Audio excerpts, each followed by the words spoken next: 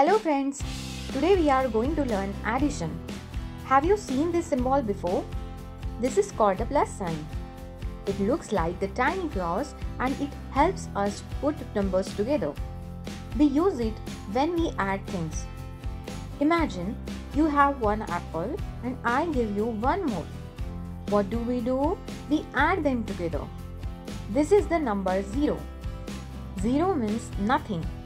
If you add 0 to any number, the number stays the same. Let's practice.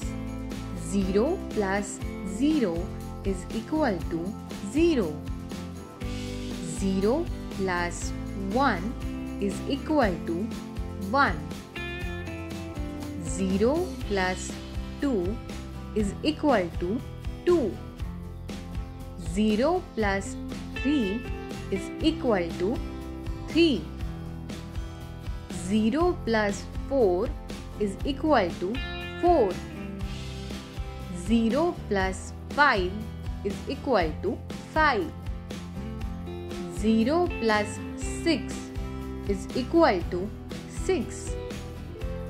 0 plus 7 is equal to 7. 0 plus 8 is equals to 8. 0 plus 9 is equal to 9. 0 plus 10 is equal to 10. Now let's learn about adding 1. When we add 1, the numbers increases by 1. Let's practice. 1 plus 0 is equal to 1. 1 plus 1 is equal to 2. 1 plus 2 is equal to 3. 1 plus 3 is equal to 4. 1 plus 4 is equal to 5.